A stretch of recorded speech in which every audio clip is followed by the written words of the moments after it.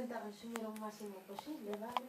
A atrofia muscular espinal é unha enfermedade que se suele nacer de carácter neuromuscular, neurodegenerativo, e o promedio de vida está nos seis meses de edad.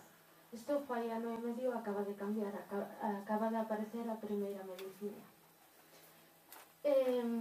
A atrofia muscular espinal é unha das enfermedades máis devastadoras que hai suele darse en moi poucos casos. É moi complicado de que se pase, vale? Para, para que esta enfermedad suceda, eh, tanto o pai como a nai teñen que ter o mesmo gen defectuoso e transmitilo.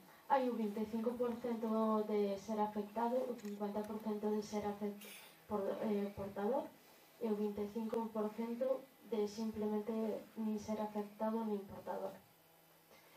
É eh, unha enfermedade de carácter infantil, é moi, moi invalidante. Para que vos fagades unha idea, eh, Antonio, aparte de comunicarse a través dos ollos, pois necesita, desde que abre os ollos hasta que os volva a cerrar, a súa nai constantemente ao seu lado para que vos fagades unha idea do que pode ser eso para que Marga, falando en plata, poida ir a facer un pis, un dos seus fillos ten que quedar con Antonio.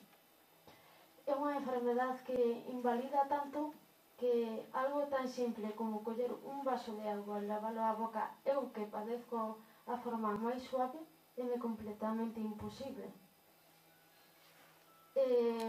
non só afecta a nivel respiratorio, sino a nivel muscular. Eh, é tan devastadora que é que é a primeira enfermedade que causa máis mortavi, mortavi, mort, non me sabe. eh, nas enfermedades neuromusculares.